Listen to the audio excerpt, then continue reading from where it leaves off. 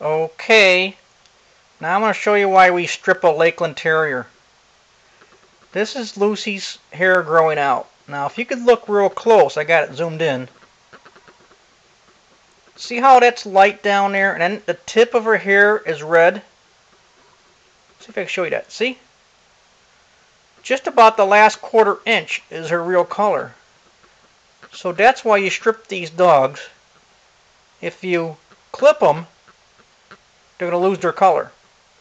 And also, when the hair dies, it doesn't shed, and so you're going to have dead hair on a dog, and that's not good for her skin.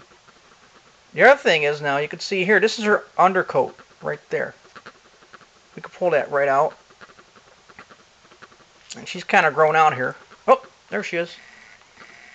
She don't like me grooming her. But that's why you groom Lucy and Lakelands and Welsh Terriers and Airedales. Now let me show you her face here. Now you're going to see the difference in color here. I'm going to zoom in here. Let's see if we can zoom in with it being, there we go. Now you see her red collar is just on the tip.